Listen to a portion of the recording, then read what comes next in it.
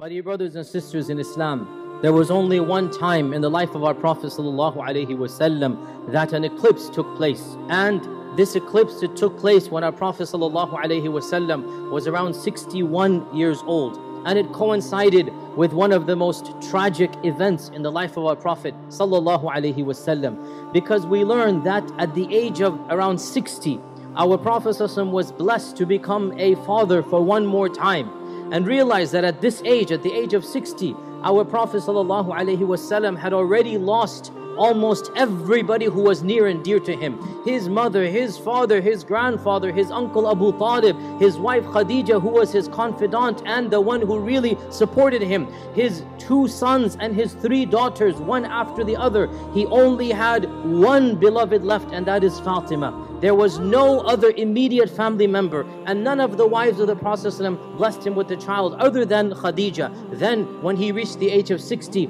Allah subhanahu wa ta'ala blessed him to have another son, another child. And this was through Maria al Qibtiyya. And Maria al Qibtiyya gave birth to Ibrahim. Our Prophet, as is reported in Sahih Bukhari, that the Sahaba said one day the Prophet came and his face was shining bright, his face was beaming, and he said, Allah blessed me with a child last night, and I shall name him after my father Ibrahim and they would see Ibrahim with the Prophet ﷺ. He would take him to the masjid and they saw the happiness in his face that they had not seen because our Prophet ﷺ had not played with a, a, child for, for his own child for many decades before this. All of the other children, as I said already, passed away. He had buried his own daughters, Ruqayya and Umm Kulthum, and as for in Mecca, he had at least one, maybe two sons. We're not sure whether there were two sons or one son for sure, Al Qasim, and maybe another uh, was there as well. And three daughters, all of them have passed away. Now he has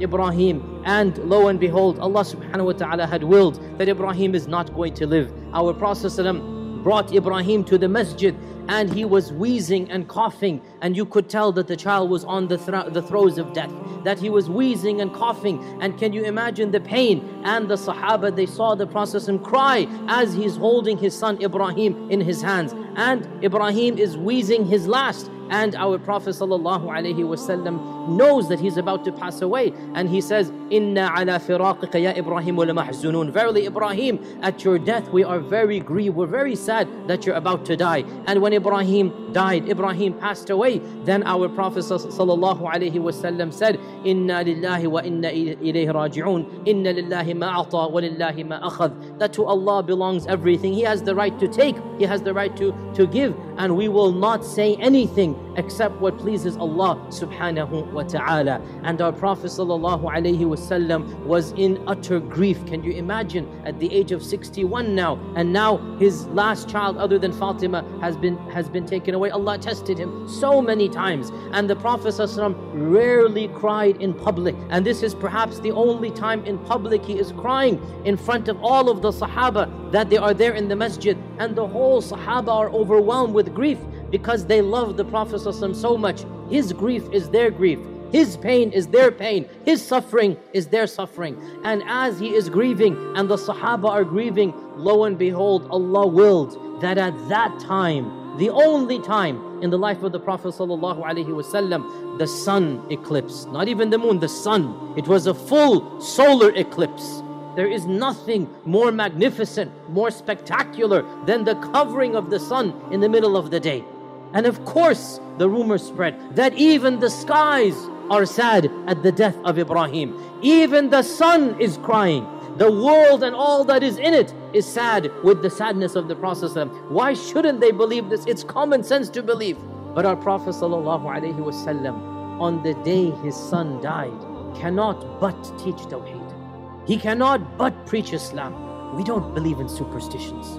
We are not a people that believe in bizarre rituals and mythologies. No, we are people who believe in Allah subhanahu wa ta'ala and the power of Allah subhanahu wa ta'ala. So on the day he buries his son, he's barely come back from the graveyard and he calls all of the people to the masjid and our Prophet sallallahu alaihi wasallam then led them in a long salah a long prayer. And as Aisha and others said, it was as if he recited all of Qadr al-Baqarah, the, the, the size of Surah al-Baqarah, and he did not finish until the eclipse itself disappeared. And as I said, this is indeed the sunnah, but it is difficult for us in this land and when we have work tomorrow to follow that sunnah. Then when the eclipse finished, then he stood up and he gave a khutbah.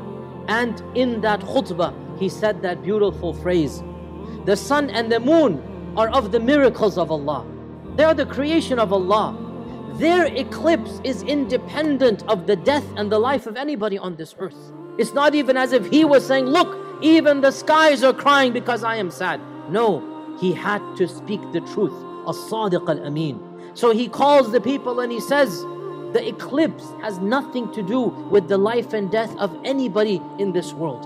These are of the creation of Allah subhanahu wa ta'ala. So when the sun or the moon eclipses, then kabbiru wa saddiqu. Saddaqu. That tasaddaqu. That pray and say takbir and give charity until the, the eclipse goes away. And this is the only time the eclipse happened. From this, our scholars have derived that there's something called Salatul Kusuf and Salatul Khusuf with a kaf and a kha. Salatul Kusuf is for when the sun eclipses, Salatul Khusuf when the moon eclipses, and they are prayed in the same manner, except of course the Kusuf is in the daytime and Khusuf is at night.